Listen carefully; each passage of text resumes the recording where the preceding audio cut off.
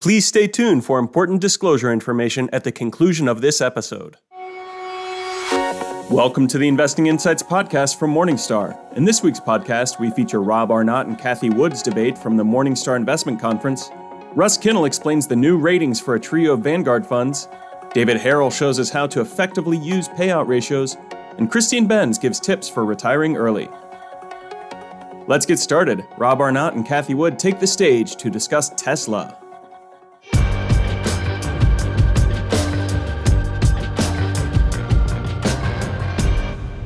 Great to see everybody. Or maybe through the lights. It looks like there's people here. Um, welcome to the uh, to the panel here today. So we've got uh, really two great uh, panelists, and uh, we're going to be discussing the uh, investment opportunity set out there, and really focusing in on valuation. And so the two panelists today, obviously Rob here and Cathie joining us over uh, via virtual link, um, and both are very experienced in managing equity-based strategies that are widely available through exchange-traded funds, which advisors and investors can use.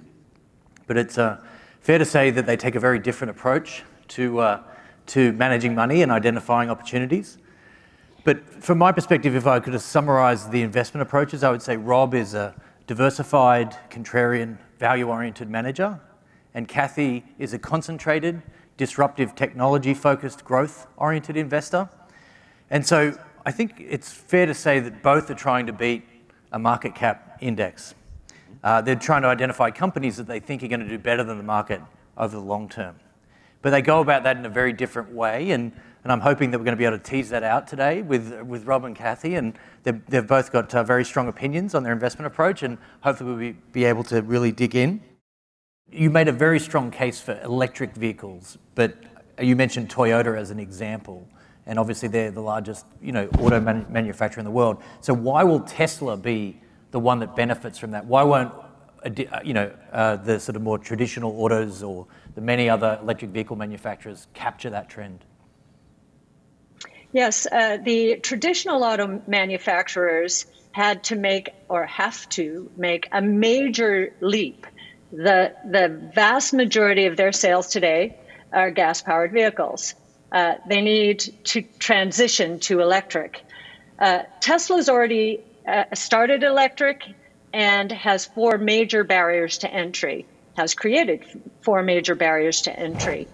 One, battery costs. Uh, it built its cars on cylindrical batteries. Most other auto manufacturers are, uh, have based their cars on um, lithium ion pouch batteries. Uh, and the costs of lithium ion pouch are much higher today. Uh, I think roughly 15, 20% than, uh, than the cylindrical ba- batteries that uh, Tesla uses. Tesla is riding the, down the cost curve of the consumer electronics industry. Most other auto manufacturers are not. So its battery costs will be lower uh, for as far as we can see. Uh, the second barrier to entry is uh, the artificial intelligence chip that Tesla designed. Uh, now, uh, Tesla is taking a leaf from Apple's book. Uh, as you will remember, Apple created the concept of a smartphone. It believed that we would have a computer in our pocket. Nokia, Motorola, and Ericsson did not believe that. They did not design their own chips and you know where they are today. Apple is uh, uh, uh, dominating the profits the, and the, the, profits in the smartphone market. Uh, the other barrier to entry is the number of real world while, uh, miles driven that Tesla has collected. It has uh, more than a million robots out there collecting data and sending it back every day. My car is one of them and therefore it is able to discern corner cases and design its full self-driving system to incorporate these corner cases in a way that other auto manufacturers cannot. They don't have chips and they are collecting uh, uh, you know, millions, not billions and billions of miles with their pilot tests. And then the fourth barrier to entry, and it surprised me this one lasted as long, but I guess the, the dealer system was the reason. Uh, Tesla is still the only car doing over the air software updates to, uh, to improve performance and prevent breakdowns. Since uh, September of 2018, I have not had to take my car in for any reason except a nail in the tire. The tire went flat. Well, software is not going to solve that problem. Uh, so, but those four barriers to entry, we believe, have put Tesla ahead, and uh, uh, we think the distance actually is increasing. Okay. Rob, you've got some opinions on electric vehicles and also Tesla? I certainly do. Um, we wrote a paper earlier this year um, called the um, Big Market Delusion, which uh, looked at industries that are up and coming that are disruptive. And uh, kudos to Cathie on looking for disruptors. They're very, very important. But disruptors get disrupted. I'll come back to that in a minute. The thing that we found very interesting is you find these cases in the internet bubble, in the supercomputer bubble in the early 80s, um, the list goes on and on, where every company in the industry is priced at lofty multiples um, as if they're all going to succeed, and yet they're competing against one another. So there will be winners and losers, and the market's pricing things as if they're all going to be winners.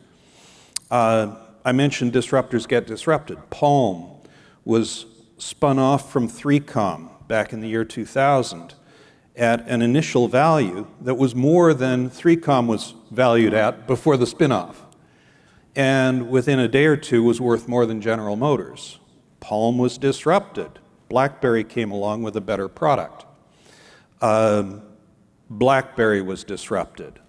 Apple came along with a better product.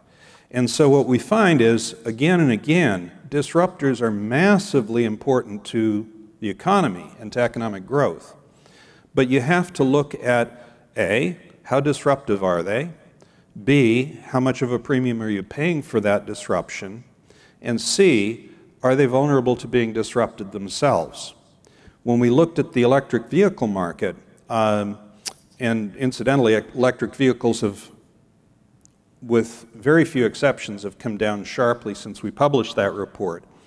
Um, when you look at the electric vehicles market, you find that as of the end of 2020, uh, Tesla, which I think at the time was about 25 times sales, uh, Cathie can confirm or uh, correct that, but about 25 times sales. Out of eight specialists in electric cars worldwide, it was the second cheapest.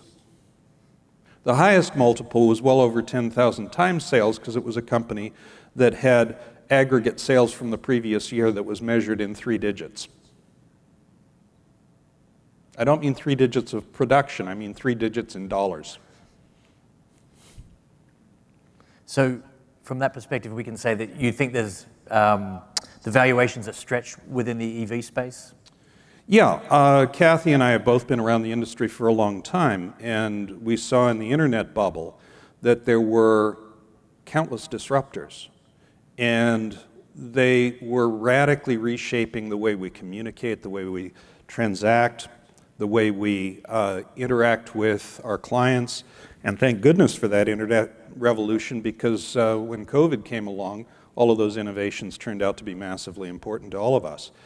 Uh, but the market got ahead of what was likely to happen. Briefly, Cisco was the largest market cap stock on the planet.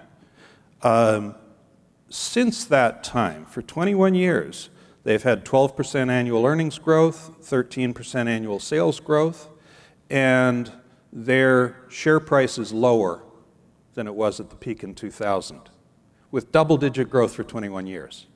So the market was expecting stupendous growth. It got impressive growth, but it was priced to reflect expectations of stupendous growth. Expand your investing horizons and look to the long term with Morningstar's podcast, The Long View. Join hosts Christine Benz and Jeff Ptak as they talk to influential leaders in investing, advice, and personal finance. Search for and subscribe to The Long View today.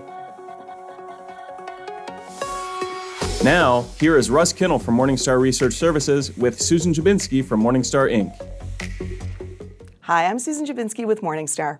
Morningstar recently changed the fund analyst ratings on a trio of Vanguard funds. Russ Kinnel is here today to discuss those changes. Russ is Morningstar's Director of Manager Research and editor of Morningstar Fund Investor. Hi, Russ. Thanks for being here. Glad to be here. So let's talk a little bit first about our fund analyst rating in general and how often analysts review the rating and what might trigger a rating change, either up or down.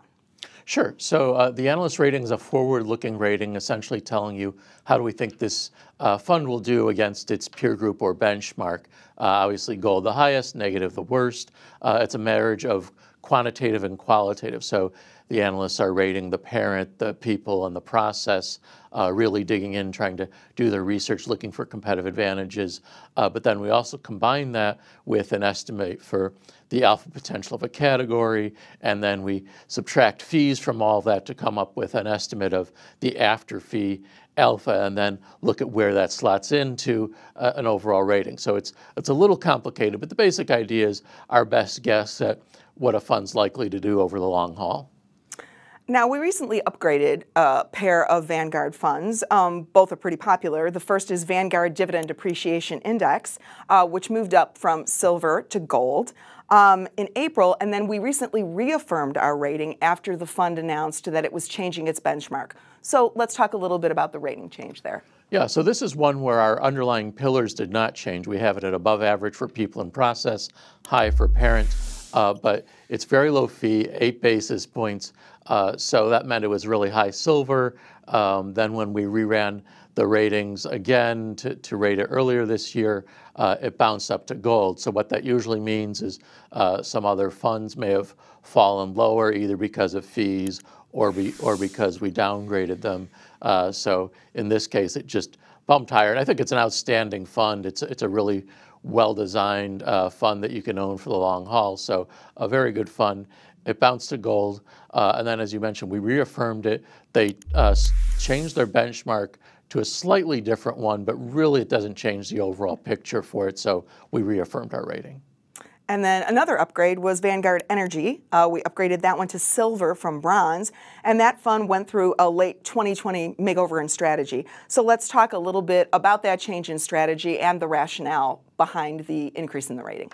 That's right. So Vanguard broadened the strategy to a, a wider ranging, not just uh, energy, uh, but wider natural resource uh, view. Um, and uh, we wanted to see how that would settle, uh, but also we wanted to see how the newish manager, Tom Levering, uh, would settle in. He came on board in early 2020, uh, but we upgraded the, the people because we, we felt like um, Levering, though he was fairly sh short experience on this fund, had longer track records with very good performance at a couple of other funds. So that led us to upgrade people and, and upgrade overall rating to silver. And then on the flip side, we downgraded Vanguard International Growth um, to silver from gold after a manager change at one of the fund's sub-advisors. So let's talk a little bit about that one. Uh, yeah, James Anderson, who's the lead on Baillie Gifford, which is the, the main sub-advisor on the fund, uh, is stepping down. And so that led us to take the people rating uh, from high to above average. Uh, but we, we still like the fund. We still think there's some good experienced people who will, will take Anderson's place, uh, which is why obviously we still have an above average people and a silver overall. So still a very good fund, but when you lose your leader, a very experienced manager who had a lot to do with the fund's success, we felt we should take it down a notch. Well, Russ, thank you very much for your time today and putting some of these rating changes into perspective. You're welcome. I'm Susan Dziubinski from Morningstar. Thanks for tuning in. Next, David Harrell from Morningstar Investment Management tells us the ins and outs of payout ratios. Hi, I'm Susan Dziubinski with Morningstar. Dividend stock investors rely on a company's payout ratio to determine a dividend stability. Joining me today to discuss the ins and outs of payout ratios and how to effectively use them is David Harrell. David is an editorial director with Morningstar Investment Management and editor of Morningstar Dividend Investor. Thanks for being here today, David. Oh, great to be here. So let's start out by defining our terms. What is the payout ratio? What does it tell us? And how is it calculated? Sure. So payout ratio is simply a measure of the portion of a company's earnings that it's returning to shareholders via dividend payments. So if a company uh, earns $5 per share and is paying out $2.50 a year in dividends, it has a 50% payout ratio. If it then raised its dividend to $3, that payout ratio would increase to 60%. Now, does a high payout ratio always mean that there's, you know, the dividend might be at risk? Not necessarily. So with a payout ratio, you really want to look at it in context, and in context of several things. Uh, first of all, um, you know, there are mature wide moat companies that routinely pay out a large portion of their earnings as di- of dividends as dividends, particularly uh, in certain sectors such as utilities, for example. Now, um, so you need to look at the payout ratio relative to things like, you know, what's the payout ratio of other firms in the same sector or industry? Um, where does the payout ratio stand relative to management's target for the payout ratio? Oftentimes, management will say, we intend to return 55 to 60 percent of earnings as dividends. You know, where is that payout ratio relative to that? And then finally, look at the payout ratio uh, where it's how it's changed in recent years. Um, and a good tool for this is go to Morningstar.com, uh, go to a stock report page, go to key ratios, and you can see the payout ratios over the past decade. So if a payout ratio has increased quite a bit over the past few years, is that because management is simply returning more and more cash to shareholders via the dividend, or is the dividend remain the same? Earnings are eroding, uh, so you're seeing the payout ratio uh, become much larger because uh, because of that smaller earnings amount, and that's a situation where it might be a cause for concern. Now, clearly, in 2020. Uh, we saw a large number of firms have their payout ratios spike, uh, in some some cases over 100 percent. Uh, now, you know, firms that were sort of healthy dividend payers uh, with strong cash reserves uh, were able to cover their dividend even if it exceeded uh, their earnings for the year. Uh, so they had that temporary spike in the payout ratio, uh, but now we're seeing some of those those payout ratios return more to their normal range. So then on the flip side, if you see a low payout ratio, does that automatically mean, ooh, this is a stock that's going to give me some dividend growth? Well, you know, there's a tendency to look at that and say, wow, a low number, there's, you know, quote unquote, room to grow the dividend. And that certainly can be the case, uh, particularly if you have a, a, younger company that might have only initiated this dividend a few years ago.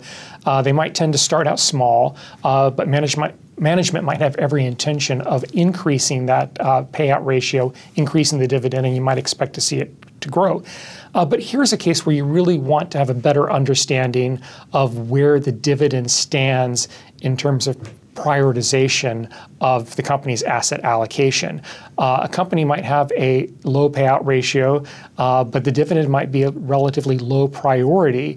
Uh, it might sort of come last. They might have debt they're paying down. They might have you know a lot of money they want to spend on R. They might want to devote a lot of funds to R and D.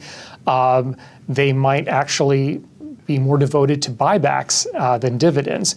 Uh, so here's something where you just really want to have a better understanding of the prioritization of the dividend. And there's a couple of places you can look for more information on that. Uh, one would be uh, just the shareholder letter and the annual report. Oftentimes, you'll see management tout their, you know, dedication to the dividend, the the length of you know the streak of dividend increases, and sort of reiterate that yes, we are you know devoted to growing the dividend. Uh, a better place might even be some of the transcripts of the quarterly earnings calls. So oftentimes the you'll get questions from analysts about uh, upcoming dividend increases, and, and that's a place where you'll see management literally lay out their priorities uh, for al- asset, uh, capital allocation and you know where the dividend stands and if it's you know first in line or third in line. Uh, so that's that's a you know a way to have a better understanding of uh, sort of management's intention uh, to grow the dividend. So, David, what factors, what other factors might dividend seekers be looking at besides that payout ratio if they're trying to find stocks that have stable dividends? Sure. So, you know, dividends don't come out of thin air. The cash to pay them have, has to come from a company's earnings and cash flow. Uh, so, companies need stable earnings to, to pay their dividends. They need increasing earnings to, um, to increase their dividends. And one tool they might, investors might use is the Morningstar Moat rating. Now, moats certainly don't guarantee dividends, but every time we've looked at the relationship between moat ratings and dividends, we've seen a fairly strong correlation. Uh, for example, in 2020, no moat companies were the ones that were most likely to have suspended or reduced their dividends, whereas wide moat companies were the least likely uh, to have cut or suspended their dividends. Well, David, thank you for your time today and for giving us your perspective on this metric, the payout ratio, that's very important to dividend investors. We appreciate your time. Oh, thanks for having me. I'm Susan Dziubinski with Morningstar. Thanks for tuning in. And lastly, Christine Benz from Morningstar Inc. gives her insights about early retirement. Hi, I'm Susan Dziubinski with Morningstar. Retirements appear to have accelerated during the pandemic. Joining me to discuss what you need to bear in mind if you plan to retire early is Christine Benz. Christine's Morningstar's Director of Personal Finance and Retirement Planning. Hi, Christine. Thanks for being here.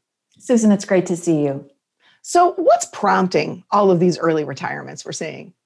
There are different motivations, I'm sure. I, I, suspect there are some frontline workers who decided to leave their jobs in the wake of the pandemic. It certainly put added stress on them to, to do their day to day jobs. I think there's another huge contingent of new retirees, would be retirees, who are looking at this very strong market environment that's prevailed over the past decade plus. So their portfolios are enlarged and they think that they have enough to retire. I would expect that that's a strong motivator for a lot of new early retirees. And then I would say another sort of softer cons- consideration in the mix is that the pandemic has given a lot of people some additional time to think about their lives and the trajectories of their lives. And I think you've got some people deciding that they want to try to live their best life, and that doesn't necessarily involve working. So I think that there are a variety of motivations, but I would say those are probably key for a lot of people.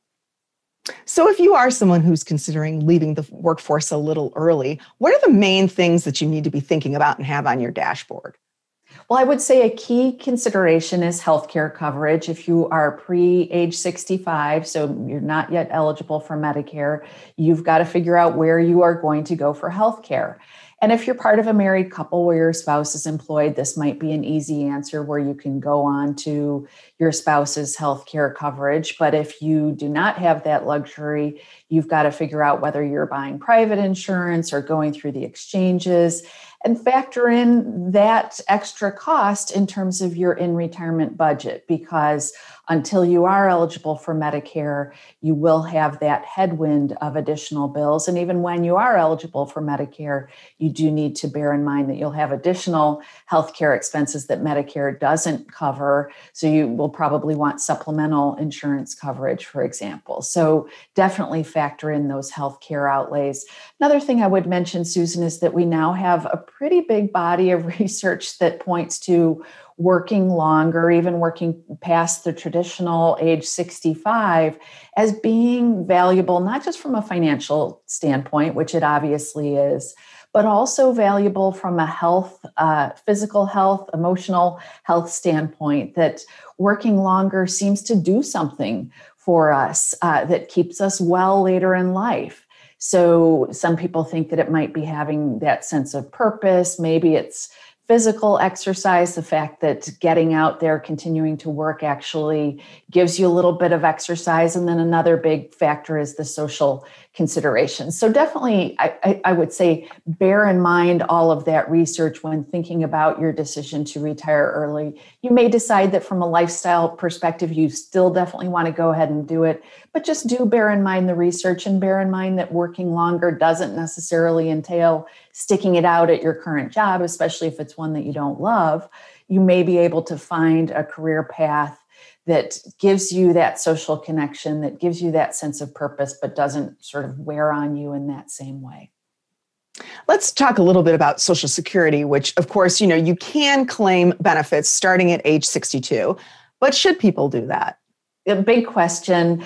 I would say that uh, certainly it's attractive from the standpoint of retirees want to replace that paycheck that they had while they're working. And I think that's why many do gravitate to claiming Social Security right out of the box to have that cash flow coming in the door through some source that is not their portfolio. But I would really spend some time running the numbers. One calculator that I recommend is Mike Piper's Open Social Security calculator. It's a free calculator. Run the numbers on your own situation. Oftentimes, if you're a healthy person, especially if you're a healthy single person, or you're the main earner in your family, delaying will make sense. You, you don't have to delay all the way until age 70, but you may pick up a benefit by delaying at least past your full retirement age, perhaps a year or two. So run the numbers on that, decide what makes the most sense given your situation. But just remember that Social Security is a lifetime benefit. And if you're able to claim a higher benefit by delaying, that can be incredibly valuable, even if that means that you have to take higher withdrawals from your portfolio early on in retirement. Now, you've always said that it's very important for pre retirees to sort of sit down and figure out what their portfolio spending rate will need to be in retirement. This is extra important if you're planning to retire early, right? Absolutely, Susan, because there has been a lot of valuable research in this space about what's a safe and sustainable withdrawal rate, but most of it considers a 25 to 30 year time horizon. Very few researchers have looked at a very long time horizon. So you'd want to be more conservative if you expect that you might have a longer than 30 year time horizon in retirement. You'd certainly want to take less than, say, the standard 4% starting portfolio withdrawal. And there are reasons to be cautious on withdrawal rates, even if you're retiring at a normal or a traditional retirement age because of the investment environment that we find ourselves in, where we have very low bond yields today. We have not inexpensive equity valuations, which portend a not great environment for investors over the next decade. And that calls for being conservative on the withdrawal rate front. So definitely don't just take the 4% guideline and run with it. My bias would be to, to be more conservative given where we are today.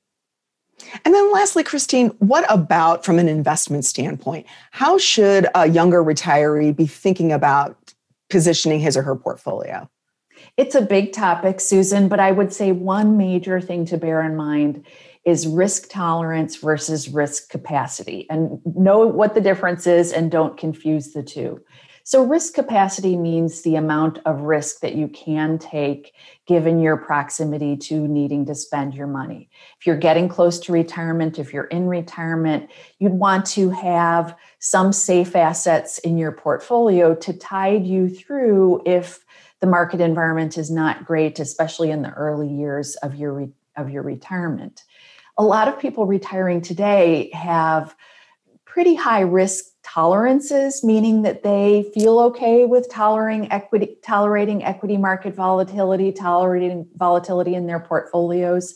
And so they might say, equity risk, bring it on. I, I have done this through my whole career and I'm ready to keep holding lots of stocks. But just make sure that you're not confusing those two concepts. Risk capacity becomes even more important as you get close to drawdown mode. You do need to have some safe assets in your portfolio, even though the return potential is really low on cash and bonds today. Well, Christine, thank you so much for your perspective today. Um, you've given people a lot to think about what they should be thinking about before they turn in that resignation. We appreciate it. Thank you so much, Susan. I'm Susan Dziubinski with Morningstar. Thank you for tuning in. That does it for this week's Investing Insights podcast from Morningstar. We hope you have enjoyed our program and we welcome your feedback. Please send your comments and questions to podcast at morningstar.com. From everyone here at Morningstar, thanks for listening. This recording is for informational purposes only and should not be considered investment advice. Opinions expressed are as of the date of recording. Such opinions are subject to change. The views and opinions of guests on this program are not necessarily those of Morningstar Inc. and its affiliates. Morningstar and its affiliates are not affiliated with this guest or his or her business affiliates unless otherwise stated. Morningstar does not guarantee the accuracy or the completeness of the data presented herein. The podcast is for informational purposes only and should not be considered tax advice. Please consult a tax and or financial professional for advice specific to your individual circumstances. Morningstar Research Services LLC is a subsidiary of Morningstar Inc. and is registered with and governed by the U.S. Securities and Exchange Commission. Morningstar Research Services shall not be responsible for any trading decisions, damages, or other losses resulting from or related to the information, data analysis, or opinions or their use. Past performance is not a guarantee of future results. All investments are subject to investment risk, including possible loss of principal. Individuals should seriously consider if an investment is suitable for them by referencing their own financial position, investment objectives, and risk profile before making any investment decision.